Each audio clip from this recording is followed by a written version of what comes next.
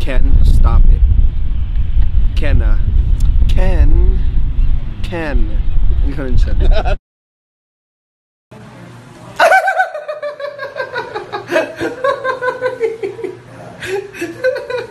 Ulit, si Liza. If he does again, I'm gonna puke. Quen, seriously, stop. Quen, it's not funny. I'm already dizzy. Means a lot to me because he's someone special.